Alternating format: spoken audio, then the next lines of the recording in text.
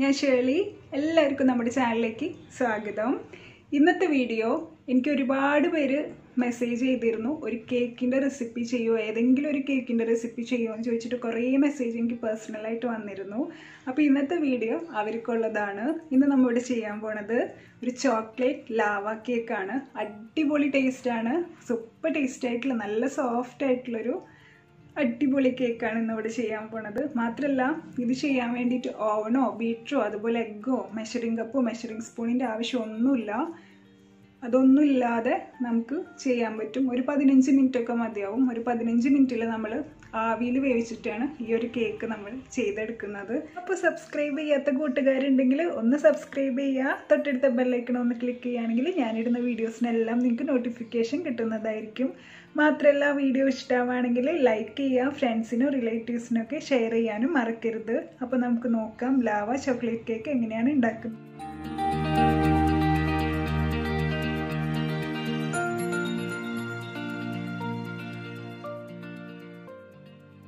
ആദ്യം ഇൻഗ്രീഡിയൻസ് എല്ലാം നമുക്ക് നന്നായിട്ടൊന്ന് അരിച്ചെടുക്കാം. ഞാനിവിടെ എടുത്തിട്ടുള്ളത് അര കപ്പ് അളവിൽ മൈദ അര ടീസ്പൂൺ ബേക്കിംഗ് പൗഡർ കാൽ ടീസ്പൂൺ ബേക്കിംഗ് സോഡയും കാൽ ടീസ്പൂൺ സോൾട്ടും ഇനി മെഷറിംഗ് കപ്പ് മെഷറിംഗ് സ്പൂണോ ഇല്ലയെന്ന് കരുതി ആരും ഇതൊന്നും ചെയ്യാതിരിക്കരുത്. അതിന്റെ ഒന്നും ആവശ്യമില്ല. ഇതുപോലത്തെ ഗ്ലാസ് എല്ലാവരുടെ വീട്ടിലും കാണുമല്ലോ. അത് വെച്ച് അളന്നെടുത്താലും മതി. ഒരു കുഴപ്പമില്ല ഇനി അതിലേക്ക് രണ്ട് ടേബിൾ സ്പൂൺ കൊക്കോ പൗഡർ കൂടി ചേർത്ത് കൊടുക്കുക ടേബിൾ സ്പൂണാണ് കേട്ടോ കൊക്കോ പൗഡർ ഇനി അതെല്ലാം നന്നായിട്ടൊന്ന് അരിച്ചെടുക്കാം. ഇങ്ങനെ ചെയ്യുന്നത് എന്തിനാണെന്ന് വെച്ചാൽ ഇതിൽ നമ്മൾ ചേർത്തിട്ടുള്ള ബേക്കിംഗ് പൗഡർ ബേക്കിംഗ് സോഡ എല്ലാം എല്ലാ ഭാഗത്തേക്കും എത്താൻ വേണ്ടിയിട്ടാണ് ഇങ്ങനെ ചെയ്യുന്നത്. ഇപ്പോൾ അരിച്ചെടുത്ത് കഴിഞ്ഞിട്ടുണ്ട്. ഇനി നമുക്ക് ആ ബൗളിലുള്ളത് ഒരു സ്പൂൺ വെച്ചിട്ട് നന്നായിട്ടൊന്ന് മിക്സ് ചെയ്ത് കൊടുക്കുക. ഈ എല്ലാം എല്ലാ ഭാഗത്തേക്കും എത്താൻ വേണ്ടിയിട്ടാണ് ഇങ്ങനെ ചെയ്യുന്നത്. എന്നാൽ മാത്രമേ കേക്ക് പെർഫെക്റ്റ് ആയിട്ട് വരുള്ളൂ അല്ലെങ്കിൽ പെർഫെക്റ്റ് ആയിട്ട് വരില്ല. ഇനി അതിലേക്ക് അരക്കപ്പ് പൊടിച്ച പഞ്ചസാര കൂടി ചേർത്ത് കൊടുക്കുക. തരിയില്ലാതെ നന്നായിട്ട് പൊടിച്ച പഞ്ചസാര ആയിരിക്കണം കേട്ടോ. ഇനി അതും കൂടി മിക്സ് ചെയ്ത് കൊടുക്കുക. ഇതിൽ ചേർത്തിട്ടുള്ള എല്ലാ ഇൻഗ്രീഡിയൻസും എല്ലാ ഭാഗത്തേക്കും എത്തണം. എന്നാൽ മാത്രമേ കേക്ക് നന്നായിട്ട് കിട്ടുള്ളൂ. അല്ലെങ്കിൽ അളവ് വ്യത്യാസം വന്നാലോ അല്ലെങ്കിൽ ഓരോ ഇൻഗ്രീഡിയൻസും എല്ലായിടത്തും എത്തിയില്ലെങ്കിലോ കേക്ക് പെർഫെക്റ്റ് ആയിട്ട് വരില്ല. ഇനി അതിലേക്ക് ചേർക്കേണ്ടത് കാൽ കപ്പ് അളവിൽ ഓയിലാണ് ഓയിൽ അല്ലെങ്കിൽ മെൽറ്റ് ചെയ്ത ബട്ടർ ആയാലും മതി. ഇനി അതിലേക്ക് നമുക്ക് അഞ്ച് ടേബിൾ സ്പൂൺ മിൽക്ക് കൂടി ചേർത്ത് കൊടുക്കുക കൂടാനോ കുറയാനോ പാടില്ല. അഞ്ച് ടേബിൾ സ്പൂൺ കറക്റ്റ് അത് തന്നെ ആയിരിക്കണം കേട്ടോ ചേർത്ത് കൊടുക്കാനായിട്ട്. പിന്നെ ഓയിൽ ഏത് റിഫൈൻഡ് ഓയിൽ വേണമെങ്കിലും യൂസ് ചെയ്യാം. വെളിച്ചെണ്ണ മാത്രം യൂസ് ചെയ്യാൻ പാടില്ല. വെളിച്ചെണ്ണ യൂസ് ചെയ്താൽ അതിന്റെ ആ ഒരു സ്മെല്ല് ഉണ്ടാവും കേക്കിന് അതുകൊണ്ടാണ് അത് യൂസ് ചെയ്യാത്തത്. ഇവിടെ ബീറ്ററിന്റെ ആവശ്യമൊന്നുമില്ല. നമുക്കൊരു ഫോർക്കോ അല്ലെങ്കിൽ ഇതേപോലെ ഒരു വിസ്കോ വെച്ചിട്ട് നന്നായിട്ടൊന്ന് മിക്സ് ചെയ്തെടുക്കാം. മെല്ലെ മെല്ലെ മിക്സ് ചെയ്താൽ മതി. ഓവർ മിക്സിങ് പാടില്ല. ഓവർ മിക്സ് ചെയ്താലും കേക്ക് ശരിയായിട്ട് വരില്ല. അതുകൊണ്ട് മെല്ലെ മെല്ലെ ഇതേപോലെ ഒന്ന് മിക്സ് ചെയ്ത് കൊടുത്താൽ മതി. എല്ലാ ഭാഗത്തേക്കും എല്ലാം എത്തിക്കഴിഞ്ഞാൽ പിന്നെ മിക്സ് ചെയ്യേണ്ട ആവശ്യമില്ല. ഞാനും ഇവിടെ പയ്യാണ് മിക്സ് ചെയ്യുന്നത്. പക്ഷേ ഇതിൽ സ്പീഡ് കൂട്ടിയിട്ടതുകൊണ്ടാണ് കേട്ടോ ഇങ്ങനെ തോന്നുന്നത് നമ്മുടെ ബാറ്റർ ഈ ഒരു കൺസിസ്റ്റൻസിയിലായിരിക്കണം കേട്ടോ വേണ്ടത്. ഇനി നമുക്ക് കേക്ക് ബേക്ക് ചെയ്യാനുള്ള പാത്രം റെഡിയാക്കി എടുക്കാം. ഞാനിവിടെ സ്റ്റീലിന്റെ ഒരു പാത്രമാണ് കേട്ടോ എടുത്തിട്ടുള്ളത്. നമ്മുടെ എല്ലാവരുടെ വീട്ടിലും കാണും കറികളൊക്കെ എടുക്കുന്ന ചെറിയ ചെറിയ പാത്രങ്ങൾ ഇല്ലേ? അതെടുത്താൽ മതി. എന്നിട്ട് അത് നന്നായിട്ടൊന്ന് ഗ്രീസ് ചെയ്തെടുക്കാം. ഓയിലോ ബട്ടറോ വെച്ചിട്ട് നന്നായിട്ടൊന്ന് ഗ്രീസ് ചെയ്ത് കൊടുക്കുക ഇനി അതിലേക്ക് കുറച്ച് മൈദ ഇട്ട് കൊടുത്തതിന് ശേഷം ഇതാ ഇതുപോലെ ഒന്ന് എല്ലാ ഭാഗത്തേക്കും ആവത്തക്ക രീതിയിലൊന്ന് തട്ടിക്കൊടുക്കുക ഇനി ബാക്കി വരുന്ന മൈദ നമുക്ക് ആവശ്യമില്ല അത് നമുക്ക് കളയാം. ഇതാ കണ്ടോ? ഇതേപോലെ എല്ലാ ഭാഗത്തേക്കും ആയിട്ടുണ്ട്. ബാക്കി വരുന്ന മൈദ ഇങ്ങനെ ഒന്ന് കൊട്ടിക്കളഞ്ഞാൽ മതി. ഇനി ഇതേപോലത്തെ സ്റ്റീലിന്റെ പാത്രം ഇല്ലാത്തവർ വിഷമിക്കേണ്ട. ഇതേപോലെ എന്തെങ്കിലും പാത്രമോ അല്ലെങ്കിൽ എന്തിന്റെങ്കിലും മൂടിയോ എടുത്തിട്ട് നമുക്കൊരു ഫോയിൽ പേപ്പർ വെച്ച് ഒന്ന് കവർ ചെയ്ത് കൊടുത്താൽ മതി. ഇതേപോലെ ഫോയിൽ പേപ്പർ ഒന്ന് നാലായിട്ട് മടക്കാം. അതിനുശേഷം അതിന്റെ മുകളിൽ ഇതേപോലെ ഫോയിൽ പേപ്പർ വെച്ച് നല്ലോണം ഒന്ന് പ്രസ് ചെയ്ത് കൊടുക്കാം. കണ്ടോ? ഇനി അതെടുത്തിട്ട് ഒന്ന് ലെവലാക്കിയിട്ട് കട്ട് ചെയ്ത് കൊടുക്കുക കത്രിക വെച്ചിട്ടൊന്ന് എല്ലാ ഭാഗവും ഒരേപോലെ വരത്തക്ക രീതിയിലൊന്ന് കട്ട് ചെയ്ത് കൊടുക്കുക ഇപ്പോൾ ശരിയായി. ഇത്രയേ ഉള്ളൂ ഇതിന്റെ പണി. ഇനി അങ്ങനത്തെ സ്റ്റീൽ പാത്രം ഇല്ലാത്തവർ ഇതുപോലെ ചെയ്ത് കേക്ക് ബേക്ക് ചെയ്തെടുത്താൽ മതി. ഇനി നമുക്ക് നേരത്തെ നമ്മൾ ഗ്രീസ് ചെയ്ത് വെച്ച പാത്രത്തിലേക്ക് കുറച്ച് ബാറ്റർ ഒഴിച്ചു കൊടുക്കുക.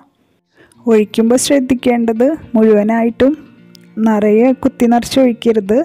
ഹാഫ് മാത്രം ഒഴിച്ചാൽ മതി. കാരണം ഇത് പൊങ്ങി വരാനുള്ളതാണ്. ഇപ്പോൾ നിങ്ങൾ എടുത്തിരിക്കുന്ന ചെറിയ പാത്രമാണെങ്കിൽ രണ്ട് പാത്രത്തിലായിട്ട് ഒഴിച്ചു കൊടുത്താൽ മതി. എനിക്കെന്തായാലും ഞാനിവിടെ എടുത്ത കുറച്ച് വലിപ്പമുള്ള പാത്രം ആയതുകൊണ്ട് ഇതിൽ തന്നെ കൊള്ളാവുന്ന ബാറ്ററി ഉള്ളൂ. ഇനി ഒഴിച്ചു കൊടുത്തതിന് ശേഷം ഇതേപോലെ ഒരു സ്പൂൺ വെച്ചിട്ട് എല്ലാ ഭാഗത്തേക്കും ഒന്ന് ഇതേപോലെ ഒന്ന് ആക്കി കൊടുക്കുക. അതിനുശേഷം ഒന്ന് ഇതേപോലെ ഒന്ന് തട്ടി കൊടുക്കുക. അതായത് അതിന്റെ ഉള്ളിൽ ഹോൾസ് എല്ലാം പോകാൻ വേണ്ടിയിട്ടാണ് ഇങ്ങനെ ചെയ്യുന്നത്. ഇനി നമുക്ക് വേണ്ടത് ഇതിൽ ചോക്ലേറ്റിന്റെ പീസ് വെച്ച് കൊടുക്കാം. ഞാനിവിടെ എടുത്തിട്ടുള്ളത് ഡാർക്ക് ചോക്ലേറ്റ് ആണ്. അതെന്നെ വേണമെന്നൊന്നുമില്ല. നിങ്ങൾക്കിപ്പോൾ ഡയറി മിൽക്ക് ആണെങ്കിൽ അതായാലും ചെറിയ ചെറിയ പീസാക്കിയിട്ട് ഇങ്ങനെ വെച്ച് കൊടുത്താൽ മതി. പിന്നെ ശ്രദ്ധിക്കേണ്ട എന്താണെന്ന് വെച്ചാൽ ഈ ചോക്ലേറ്റ് പീസ് വെച്ച് കൊടുക്കുമ്പോൾ താഴത്തെ അതായത് ഏറ്റവും താഴെയായിട്ട് വെക്കാൻ പാടില്ല. കേക്ക് ബാറ്ററിന്റെ മിഡിലായിട്ട് വരത്തക്ക രീതിയിൽ വേണം വെച്ച് കൊടുക്കാനായിട്ട്. താഴ്ന്നു പോകരുത് താഴ്ന്നു പോയാൽ കേക്ക് ബേക്കായി വരുമ്പോൾ ചോക്ലേറ്റ് മെൽറ്റായിട്ട് അത് പുറത്തേക്ക് വരാനുള്ള ചാൻസ് ഉണ്ട്. അപ്പോൾ നമുക്ക് പുറത്തേക്ക് എടുക്കാൻ കിട്ടില്ല. അതുകൊണ്ട് ചെയ്യുമ്പോൾ ഒന്ന് ശ്രദ്ധിച്ചാൽ മതി. ഇപ്പോൾ ഈ ചെയ്തത് ഇതിലായാലും നമുക്ക് ചെയ്തെടുക്കാവുന്നതേ ഉള്ളൂ. ഇനി നമുക്ക് ചെയ്യേണ്ടത് ഇതൊരു ഫോയിൽ പേപ്പറോ അല്ലെങ്കിൽ ഒരു ക്ലോത്ത് വെച്ചിട്ടൊന്ന് കവർ ചെയ്തെടുക്കണം. കാരണം നമ്മളിത് ആവിയിലാണ് വേവിച്ചെടുക്കുന്നത് അപ്പോൾ അവിൽ വേവിക്കുമ്പോൾ അതിലെ വെള്ളം ഇതിലേക്ക് തട്ടാതിരിക്കാൻ വേണ്ടിയിട്ടാണ് ഇങ്ങനെ ചെയ്യുന്നത്. കവർ ചെയ്ത് കൊടുക്കുന്നത് കേട്ടോ ഇനി നമുക്കിത് വേവിച്ചെടുക്കാൻ വേണ്ടത് ഇഡലിപ്പാത്രമാണ്. ആവശ്യത്തിന് വെള്ളം ഒഴിച്ചിട്ട് ഈ ബാറ്റർ ഒന്ന് അതിലേക്ക് എടുത്ത് വയ്ക്കുക ഒരു പതിനഞ്ച് മിനിറ്റ് അത്രേ ആവശ്യമുള്ളൂ. കറക്റ്റ് പതിനഞ്ച് മിനിറ്റിന് ശേഷം നമുക്കിതൊന്ന് തുറന്ന് നോക്കാം. ഇതൊരു ചെറിയ കേക്ക് ആയതുകൊണ്ട് കൂടുതൽ സമയമൊന്നും വെക്കണ്ട.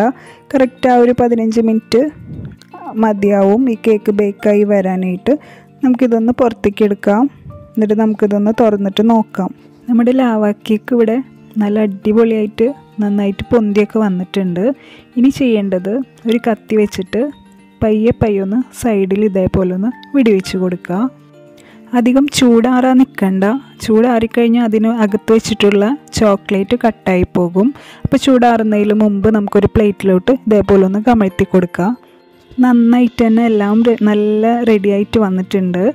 ഇനി ഞാൻ അതിന്റെ മുകളിലേക്ക് നേരത്തെ എടുത്തു വെച്ച കുറച്ച് ഷുഗറിന്റെ പൗഡർ ഉണ്ടായിരുന്നു. അതൊന്ന് ഒരു ഭംഗിക്ക് വേണ്ടി ഒന്ന് ചെയ്യുന്നതന്നേ ഉള്ളൂ. നിർബന്ധമൊന്നുമില്ല. ഞാൻ ഫോട്ടോ എടുക്കുക ഒരു ഭംഗിക്ക് വേണ്ടി ചെയ്യുന്നെന്ന് മാത്രം. അതുപോലെ കുറച്ച് ഇതേപോലെ സ്പ്രിങ്കിൾസ് ഉണ്ടായിരുന്നു. അതും കൂടി കുറച്ചൊന്ന് ഇട്ട് കൊടുക്കുന്നതേ ഉള്ളൂ. നിങ്ങൾ ചെയ്യുമ്പോൾ ഇതൊന്നും ചെയ്യണമെന്നില്ല. ഞാൻ ഫോട്ടോ എടുക്കുക ഒരു ഭംഗിക്ക് വേണ്ടി ഇത് ചെയ്തെന്നേ ഉള്ളൂ. ഇനി നമുക്കിതൊന്ന് കട്ട് ചെയ്ത് നോക്കാം. നല്ല സോഫ്റ്റ് ആയിട്ടാണ് കേട്ടോ ഇരിക്കുന്നത് കത്തി വെക്കുമ്പോഴേക്കും നന്നായിട്ട് ഇങ്ങനെ മുറിഞ്ഞു പോകുന്നുണ്ട് ഇതേ കണ്ടോ ചോക്ലേറ്റ് ഇങ്ങനെ മെൽറ്റായത് പുറത്തേക്ക് വന്നിട്ടുണ്ട്.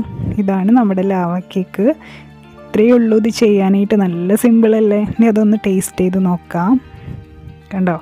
അതായത് കേക്കും അതിൽ ചോക്ലേറ്റും എല്ലാം കൂടി നല്ല ടേസ്റ്റാണ് കേട്ടോ കഴിക്കാനായിട്ട്. അപ്പോൾ എല്ലാവരും ഇതൊന്ന് ട്രൈ ചെയ്ത് നോക്കണം. നമുക്ക് നെക്സ്റ്റ് വീഡിയോയിൽ കാണാം.